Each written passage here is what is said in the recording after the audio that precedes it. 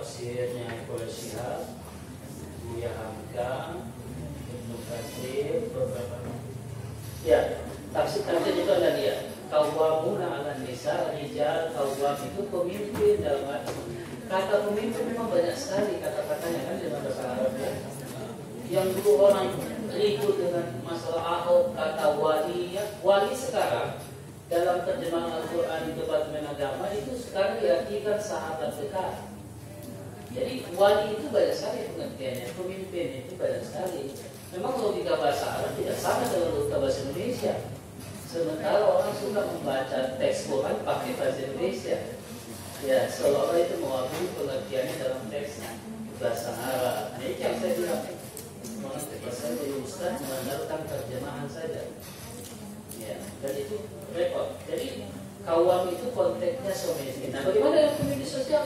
Boleh saja perempuan jadi pemimpin sosial. Banyak perempuan juga menjadi pemimpin bagi anaknya laki-laki. Kan banyak juga. Ada juga perempuan jadi ketua kelas. Ya. Yang yang dimaksud ini adalah kepemimpinan dalam rumah tangga itu kepemimpinan yang bersifat teknis rumah tangga. Ya. Yang kedua, seorang pemimpin itu syaratnya kan harus adil, baik. Nah kalau pemimpinnya juga tidak bagus, tidak perlu ditaati, bisa dipecat ya. Bisa, ada namanya mekanisme menggugat cerai dan sebagainya. Jadi ketaatan itu pasti memiliki syarat. Masa kita taat sama suami yang menjual istrinya? Kan ada suami yang dia gadaikan istrinya. Apakah itu harus taat? Kan tidak mungkin. Itu juga dilihat dalam konteks itu. Sekarang arti pemimpin dalam rumah tangga ini pemimpin teknis. Dia yang mengatur semua manajemen di dalam keluarga, manajemen keuangan, manajemen barang, manajemen waktu. Itu tugas seorang pemimpin ini pemimpin teknis, bukan pemimpin substansi dalam pengertian al-wali al-wilayah. Itu lain lagi. Banyak kalau cari buku-buku tentang kepemimpinan itu kata wali, kata wilayah, uh, banyak sekali artinya. Ya. Nah, Quran ini, kawam ini salah satu artinya adalah pemimpin, tapi pemimpin dalam konteks suami istri. Dia memimpin. Memimpin ini pengertiannya teknis, teknis dalam rumah tangga. Saya begitu ya. Adapun kepemimpinan sosial tentu ada perdebatannya juga, bukan di sini perdebatannya. Tapi buat tidak ada larangan perempuan menjadi lurah, menjadi camat, jadi presiden, permasalahannya inti kekuatan perempuan bukan di situ kan? Inti kekuatan perempuan itu cinta. Perempuan itu melahirkan pemimpin tidak perlu jadi pemimpin dia harus melahirkan pemimpin. Semua pemimpin besar yang melahirkan perempuan jadi kalau perempuan mau jadi pemimpin lebih tinggi lagi perempuan perempuan lah yang melahirkan pemimpin tapi tidak ada larang silakan mau jadi lurah jadi camat tapi kalau hari menjadi camat, Anda menjadi pemimpin buat diri Anda. Buat orang yang Anda pimpin. Tapi kalau melahirkan pemimpin, Anda memperbanyak uang kepemimpinan itu. Jadi madrasahnya memang dia madrasah peradaban. Sekarang kita mengukur. Emangnya ukuran derajat itu adalah ukuran jadi pemimpin sosial? Ukurannya adalah ketakwaan. Jadi ketakwaan itu dia didapatkan dari ruang di mana dia bisa bisa berperan dan di situ adalah kekuatan kita. Buat saya yang paling berharga dan mulia dalam diri perempuan itu adalah kekuatan cinta. Ini yang harus laki-laki. Dia bagaimana memimpin cinta itu bukan hal yang mudah. Menjadi pemimpin pasti sangat berat dan akan dimintai pertanggungjawaban. Gitu ya, kalau jalur kalau kita yang lain dari teknisnya silakan dikembangkan dalam konteks uh, keluarga. Dalam konteks seksual tentu kita menyebut berbicara tentang fikih politik, ya, siasa, perdebatan. Tapi saya sendiri yakini di luar pemimpin keagamaan, pemimpin sosial umum saja, ya perempuan menjadi presiden, menjadi apa juga tidak ada masalah. Buat saya dalam kehidupan saya, ya. Tetapi yang manakah yang paling tinggi buat saya bukan pemimpin sosial. Yang paling tinggi buat saya perempuan adalah kekuatan rumah tangga. Itu yang paling mahal. Dan karena itu saya sebagai laki-laki mencari nafkah. Saya akan cari uang sebanyak-banyaknya untuk memastikan cinta itu terpancar dalam rumah tangga. Jadi harga uang yang dicari laki-laki untuk membayar harga cinta yang begitu luar biasa. Dan itu harus bisa-bisa. Digambarkan laki-laki memberi maaf, laki-laki yang mencari nafkah, ya. kekuatan material ini untuk melayani hal-hal yang non material. Yang kedua, faktor.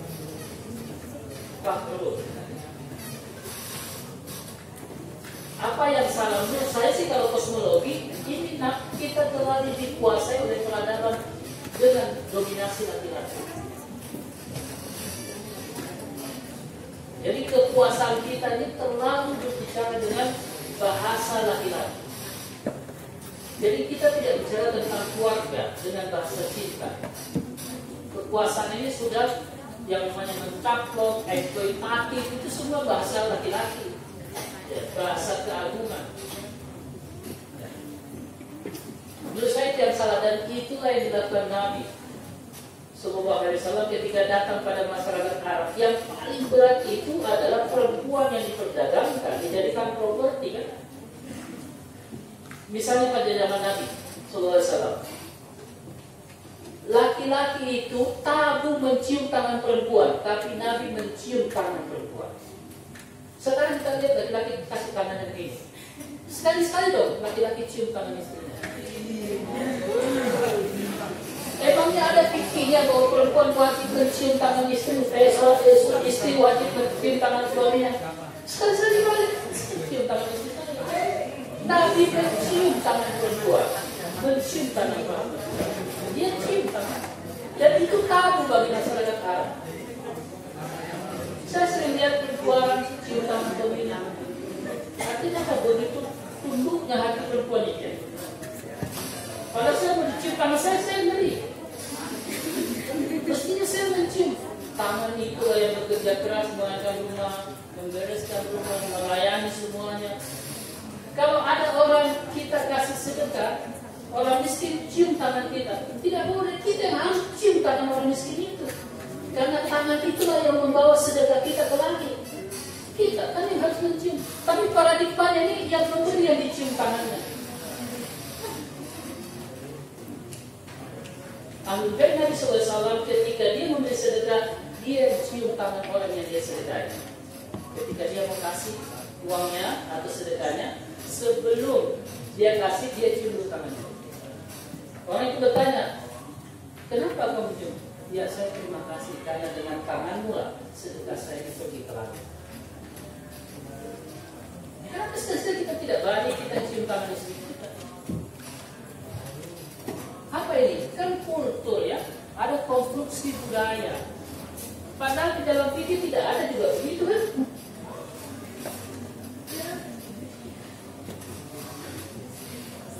Tidak ada. Eh, saya kira eh, pertanyaan Pak Nur menunjukkan satu ada konstruksi budaya, ada kultur. Yang kedua pemahaman teologi kita ya, yang tidak terbuka dengan pandangan-pandangan kosmologis pandangan-pandangan sufi, irfani, tasawuf. Kita hanya eksoterisme. Syariat hanya dipahami dimensi lahiriahnya ya. Kita tidak paham makna batinnya. Makna batin itu begini, Pak Bro. Perempuan itu adalah ladangnya laki-laki. Kan begitu teksnya ya. Artinya apa? Kita memahami seolah-olah perempuan itu objek eksploitasi kan? Padahal dalam pemahaman kosmologi perempuan adalah ladangnya laki-laki, artinya juga tidak mungkin laki-laki bisa memiliki pekerjaan kalau tidak ada perempuan. Karena dia tidak bisa berladang kalau tidak ada perempuan kan? Artinya laki-laki juga butuh ladang. Pemahamannya selalu harus seimbang. Begitu juga ketika seorang istri meninggalkan rumahnya wajib minta izin kepada suaminya. Kalau laki-laki meninggalkan rumah suaminya meninggalkan rumahnya, dia tidak wajib minta izin kepada istrinya. Kita pahami secara harfiah, berarti perempuan ini ditekan ya. Kita membuat perempuan ini eh, apa namanya di nomor dua laki-laki tidak wajib minta izin. Tapi dalam kosmologi betapa perempuan itu dijaga oleh Allah. Untuk keluar dari rumah saja dia harus minta izin kepada Tuhan melalui suaminya. Laki-laki pergi saja tanpa izin dengan Tuhan boleh. itu namanya kosmologi. Nah, feminisme gender ada memahami hanya secara harfiah. Kosmologi secara terbalik juga ada dimensi keseimbangannya. Bayangkan laki-laki kalau tidak ada perempuan, tidak ada ladangnya, pengangguran itu laki-laki. Maka dia butuh bekerja dan bekerja itu sangat ada perempuan. Semua yang dikerjakan laki-laki terhadap perempuan itu hasilnya ada di perempuan, tidak ada di laki-laki. Karena itu perempuan adalah ladangnya laki-laki. Ketika laki-laki berladang di perempuan, semua hasilnya ada di perempuan. Harta laki-laki seluruhnya adalah harta istrinya. Sebaliknya tidak.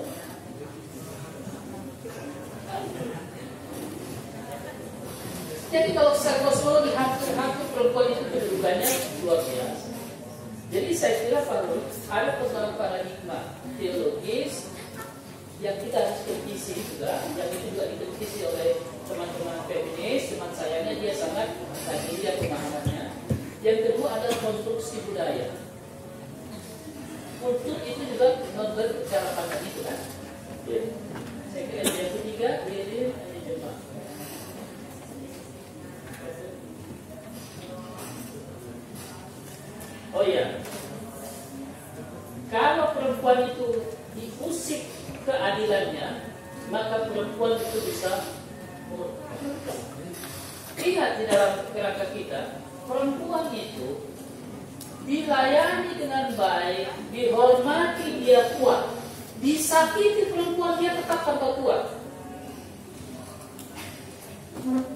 Laki-laki paham. Anda melakukan kekerasan, menyakiti perempuan, dia tetap tambah kuat.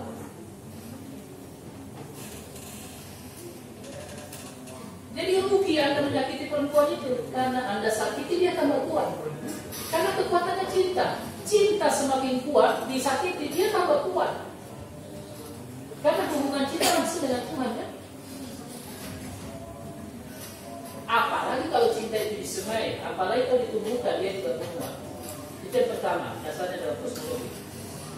Dan kalau perempuan itu murka, hati murka itu dia tambah semakin lama, dia semakin punya kesiapan untuk menerima semua. Dia sangat siap. Jadi semakin perempuan di bawah menderita, semakin dia kuat. Karena derita itu bagian dari eksistensi cinta. Kalau ada orang punya cinta tidak menderita, pasti itu bukan cinta. Karena itu derita cinta itu kekuatan dari perempuan. Semakin dia menangis, dia tambah kuat. Karena saya pikir untuk apa anda membuat perempuan menangis? Karena tangisan itu adalah kekuatan perempuan. Semakin anda membuat menderita dia semakin kuat. Dan daripada anda tangis lebih baik anda bahagiakan saja perempuan itu. Karena itu anda membuat dia menangis dia kuat. Anda membuat dia semakin menderita dia kuat. Dia sangat siap. Saya katakan tadi, perempuan itu tergantung laki-laki saja. Anda mau apakan dia tergantung. Jadi dia lebih siap menerima kondisi apa pun. Jadi perempuan bisa mengalami kekerasan bertubi-tubi ya, mengambil peran bertubi-tubi, tapi dia masih bisa kuat. Dan dia akan bangkit kalau cinta itu diusik. Semua bisa Anda lakukan dalam diri perempuan. Dia bisa tahan dengan semuanya. Asal jangan ganggu ini cinta. Kalau ini cinta diganggu, maka pasti dia akan bangkit. Nah, bagaimana model kebangkitannya banyak? Satu, dia siap untuk berpisah. Dia siap untuk melawan. Dia siap menjalani semua itu dalam detik apa pun. Kalau Anda sudah mengusik cinta pada diri perempuan. Itu yang kedua. Yang ketiga, perspektif tentang keadilan perempuan itu adalah suara hati. Jadi suara hati perempuan, kalau keadilannya diusik, dia langsung berkaitan dengan aros. Dia berkaitan dengan makom aros. Aros ini, aros di dalam kajian, yang paling dekat dengan aros itu adalah hati. Dan perempuan dimensinya hati kan? Karena itu doa perempuan yang tertindas, yang dizalimi itu langsung ke arasnya Allah. Dan itu pasti akan sangat berbahaya bagi kehidupan laki-laki. Yang saya takut ketika perempuan itu sudah berdoa. Perempuan senang sekali berdoa. Dan aros itu yang paling dekat dengan arosnya Allah di mana Tuhan bertakhta itu adalah hati. Maka sering disebut hati itu adalah rumah Tuhan. Dan karena itu hati itu perempuan, perempuan itu tempat Tuhan bersemayam.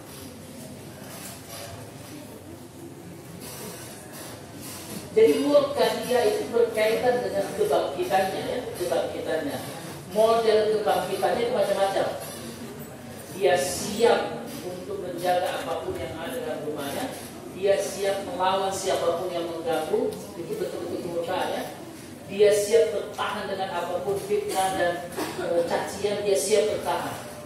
Mau dia apa pun karena harga sebuah cinta itu mati buat dia kan. Tinggi sekali tinggal model penyelesaiannya itu macam-macam ada yang kemudian mengambil sikap untuk bercerai dan kecenderungan perempuan sekarang mulai berani mengambil sikap untuk menggugat saya tidak bicara bahwa apakah itu baik atau tidak ya. Saya perempuan sudah mulai kecenderungannya mulai berani membuka. Angka perceraian yang tinggi ini satu sisi kita prihatin, satu sisi perempuan sudah mulai mempunyai sikap.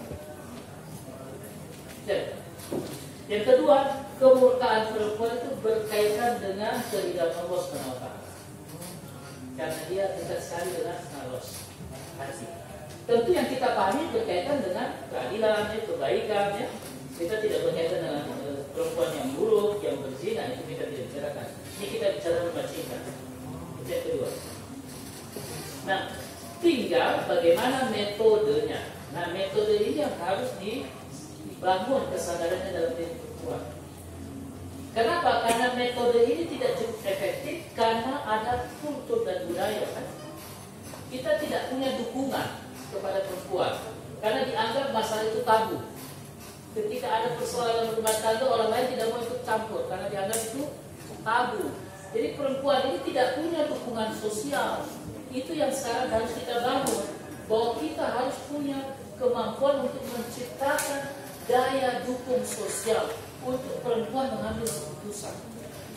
Kenapa? Karena pertimbangan perempuan ini bukan dirinya ya. Yang dia lihat itu adalah keluarganya, anak-anaknya. Kalau dirinya dia siap dengan semua penderitaan, yang berat buat dia adalah anak. Karena itu lahir ya, yang muncul dari.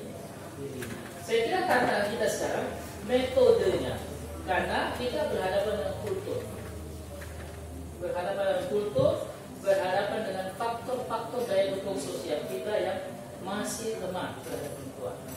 Misalnya kalau ada perempuan korban kekerasan, kalau ada perempuan korban kekerasan, kemudian teks-teks para pengkhotbah Selalu ungkapannya bagaimanapun seorang istri harus taat kepada suami. Dipukul berkali-kali taat, dipukul berkali-kali taat. Jadi itu berbahaya sekali. Tentu hadis ini pasti punya makna yang penting. Cuma sekarang dengan alasan istri harus taat saudara. Pada Quran mengatakan hak dan kewajiban harus diperlakukan secara patut. Artinya seimbang kan? Kalau istri harus taat, maka tugasnya suami harus apa? Tapi selalu perempuan yang menjaga sisinya. Seorang perempuan harus seorang istri harus taat kepada suami. Oke. Okay. Perempuan taat kepada suami. Syaratnya apa untuk suami bisa ditaati? Berakhlaknya yang baik terhadap istri. Kalau perempuan itu sebagaimana Tuhan, kalau laki-laki datang kepada perempuan dengan satu langkah, perempuan akan memberi dengan dua langkah. Perempuan itu tergantung abang saya. Kalau abang datang dengan berlari, saya akan terbang kepada abang. Jadi perempuan tergantung cara laki-laki. Makanya laki-laki rumah tangga itu kawal.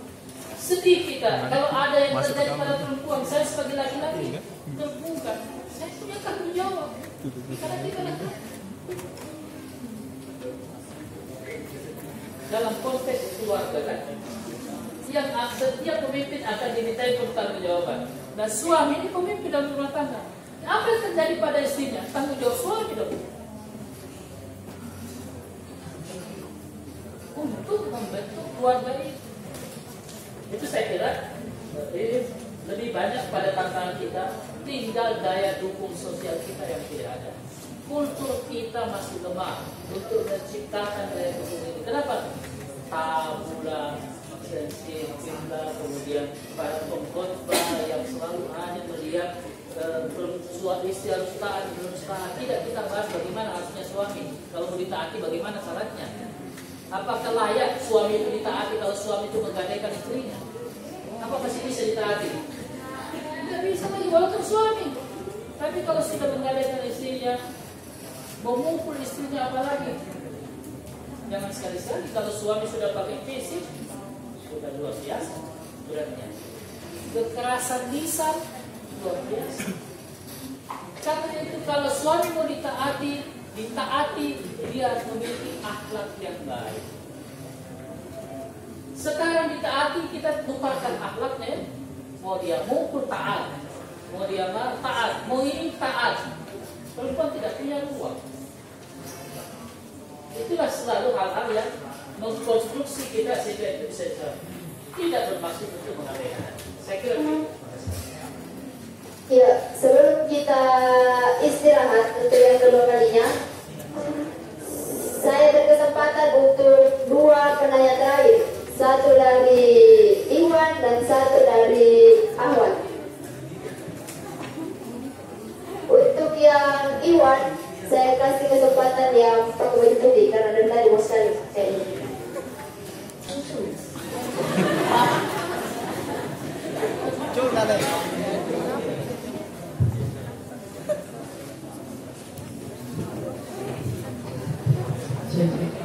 Bismillahirrahmanirrahim. Assalamualaikum warahmatullahi wabarakatuh. Perkenalkan nama saya Jarod dari Universitas Sandi Jama Palobo. Ya. Jadi ada sebuah penelitian yang dilakukan oleh Andik Wijaya N, RED, MED mengatakan bahwa lebih dari 50% remaja melakukan hubungan seks pranikah lewat pacaran. Nah, jadi melalui penelitian ini bisa kita simpulkan bahwa remaja